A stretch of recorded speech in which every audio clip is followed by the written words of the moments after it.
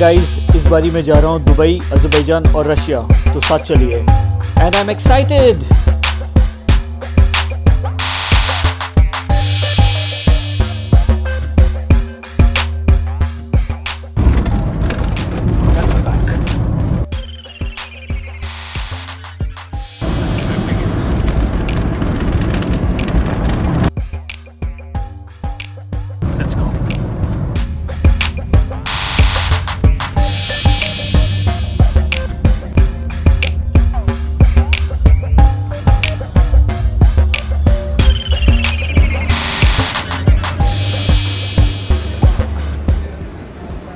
दोस्तों, ये मेरी बजट ट्रिप है।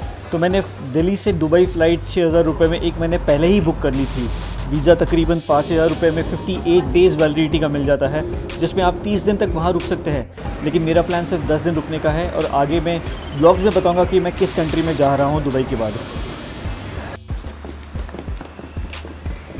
इमिग्रेशन काफ़ी स्मूथ था और जनरली दुबई जाने वालों को ज़्यादा कुछ पूछते भी नहीं हैं। ये मेरा फेवरेट एरिया है शॉपिंग के लिए, जहाँ पे मैं लिकर चॉकलेट्स और बाकी चीज़ें यहाँ पे जनरली ख़रीदता हूँ। लिकर इसलिए क्योंकि फ़्लाइट के टाइम काम आ जाता है फ़्लाइट में लिकर काफ़ी महँगी होती है। और अनफॉर्चुनेटली ये ड्राई डे था, मुझे पता था कि एयरपोर्ट लॉन्च पे भी मुझे अल्कोहल नहीं मिलेगी। प्लस मैं ऑफ़र्स चेक करता हूँ और अगर ऑफ़र अच्छा हो तो मेरी शॉपिंग तो यहीं से शुरू हो जाती है। इसके बाद चलते हैं एयरपोर्ट लाउंज की तरफ़, देखते हैं क्या है।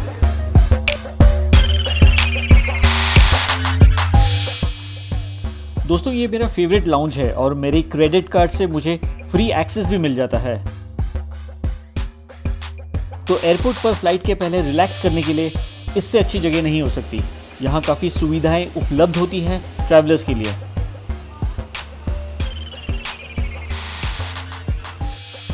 चलो, आपको लाउंज की छोटी सी सैर कराता हूँ। काफ़ी बड़ा लाउंज है तो ज़ाहिर सी बात है कि सीटिंग भी काफ़ी है। और सीटिंग की ऑप्शंस भी। काउच पर आराम से बैठ जाइए, या फिर टेबल चेयर्स पर अपना काम कीजिए, या बार स्टूल्स पर खाना खा सकते हैं।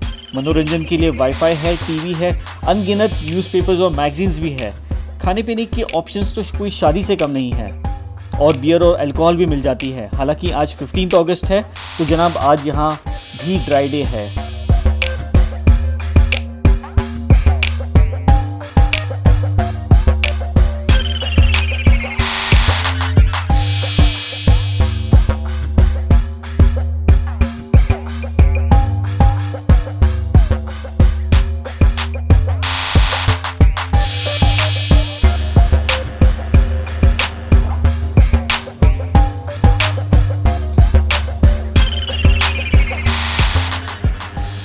हमेशा तीन से चार कोर्स मील कर लेता हूँ यहाँ पर तो चलिए खाने पीने का प्रोग्राम शुरू करते हैं काफ़ी तरह तरह के स्टार्टर्स है मेन कोर्स है डेजर्ट्स है और टी और कॉफ़ी के साथ साथ स्नैक्स भी अगर आप वेजिटेरियन हो तो वेज और नॉन वेज दोनों में ऑप्शंस अवेलेबल है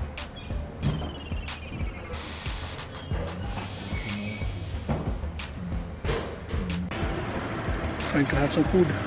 Check this. Mmm, some delicious, delicious non-veg. Not bad. Superb.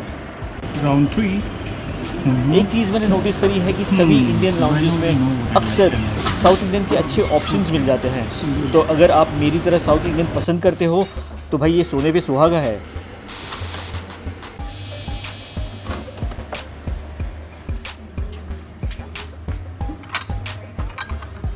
अच्छे मील के बाद चाय कॉफ़ी का मज़ा ही कुछ और है।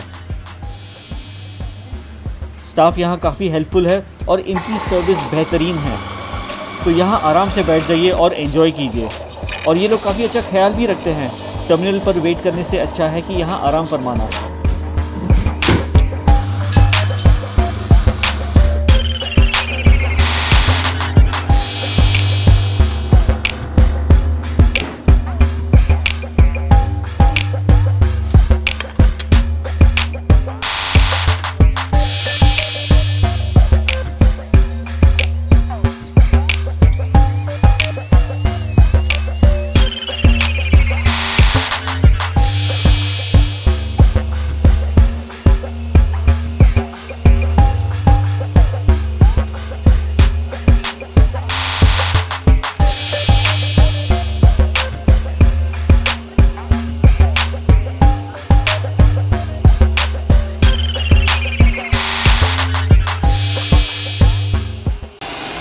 Excellent food, excellent service, excellent comfort.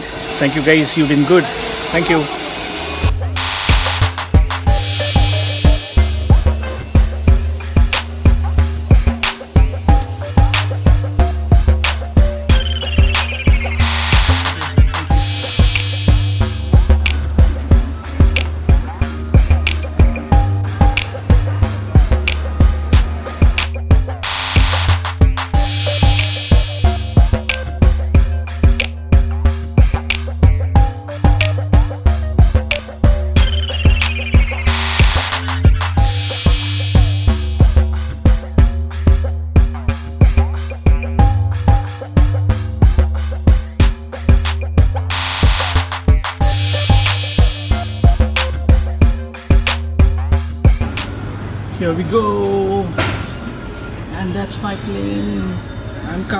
Wait for me.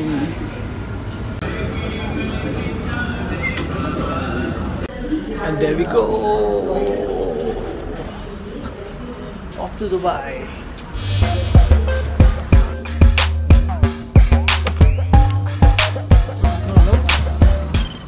You ask for a window seat,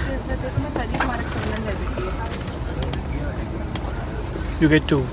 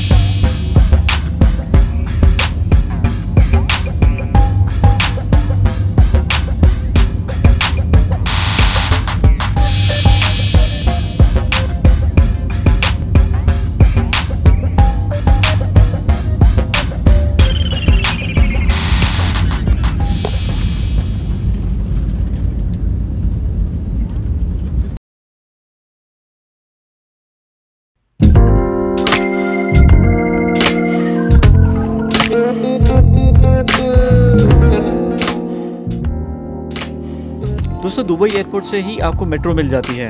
तो टैक्सी के पैसे भी बच जाते हैं। मेरा हॉस्टल अल में था, जो सिर्फ़ तीन मेट्रो स्टेशन दूर था। तो मैं दस मिनट में ही पहुँच गया। कितना आसान है ना?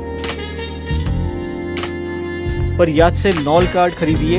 ये कार्ड है जो मेट्रो बस और ट्रैम में इस्तेमाल होता है। पाँच दिरम इसकी कॉस्ट है और 15 से 20 दिरम तक आप इसको टॉपअप कर लीजिए और बस घूमते रहिए।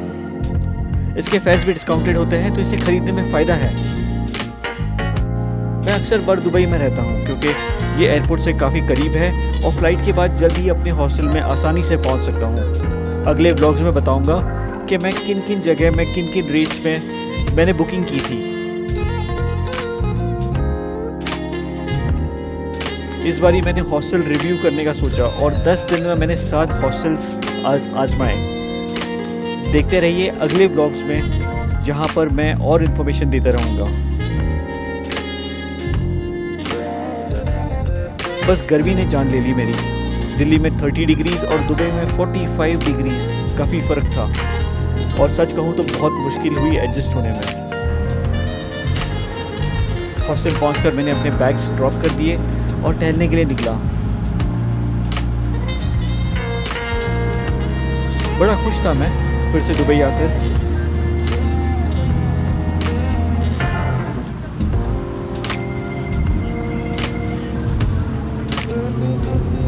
यहाँ के नज़ारे, यहाँ की शान शौकत कुछ और ही चीज़ है। लाजवाब। तभी तो दुनिया भर के लोग यहाँ खींचे चले आते हैं। दुबई में सबके लिए कुछ ना कुछ है। बजट ट्रैवलर और लग्जरी ट्रैवलर एक ही सिटी में वही चीज़ें काफ़ी अच्छी तरह एंजॉय कर सकते हैं। और दोस्तों, आपको ये छोटी छोटी गिफ्ट आइटम्स की शॉप काफ़ी मिलेंगी पूरे दुबई में। खास करके old Dubai which is Bur Dubai एक से लेके बीस दिरहम तक you get very good items very good quality कभी आओ यहाँ पे देखो गुड सोविनर शॉपिंग कभी घर पे कुछ लेके जाना है गिफ्ट्स लेके जानी है फैमिली के लिए। These are good ones some of the sites and sounds here the pay phone outlets and a busy street the usual traffic and this is how the people cross the roads only at these junctions. And only when the lights turn green dosto yaad rakhna whenever you come to dubai this is how you adhere to the rules. Stop walking as it starts blinking green. That's it. No more.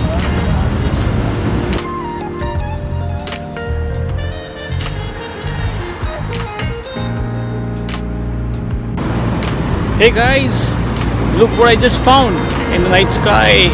This is the Al Riga Mosque. Tell me it doesn't look beautiful in the night sky. Wow. Just have a look.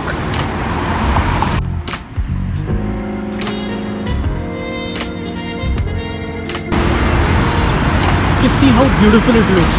Wow. Absolutely.